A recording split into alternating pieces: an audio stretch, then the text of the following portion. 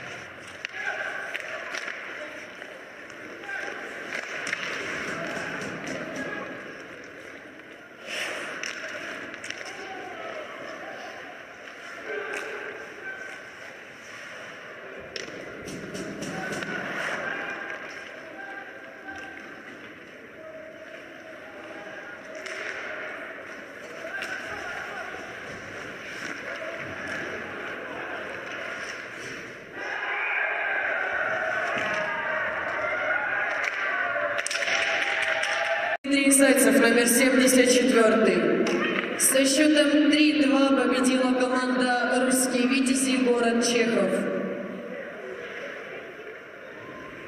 Дорогие болельщики, следующий домашний матч